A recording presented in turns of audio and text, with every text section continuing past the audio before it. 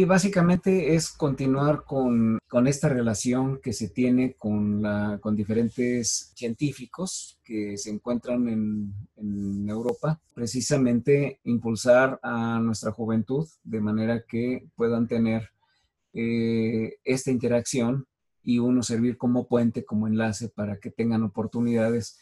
de relacionarse, de intercambio eh, entre estudiantes de diferentes universidades y que de esa manera haya un enriquecimiento de nuestros científicos jóvenes mediante el desarrollo de técnicas de observación remota de los, de, los gases. Eh, hemos tenido conjuntamente con universidades de Alemania y de Suecia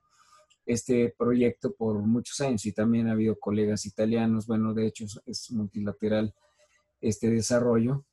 y con ellos hemos tenido una gran eh, actividad durante las últimas dos décadas prácticamente, desplegando este tipo de equipos en los volcanes activos de, todo el mundo. Y en, México hemos desplegado este tipo de equipos en el volcán Popocatépetl y en el volcán de Fuego de Colima. Uno de los aspectos que a ellos les llamó la atención es mi participación con varios grupos latinoamericanos, con diferentes organizaciones,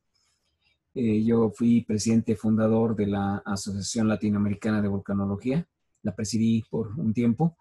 y pues hay una relación muy intensa con, entre los volcanólogos latinoamericanos y la idea es enlazar a, toda esta, a todos estos colegas con los colegas europeos.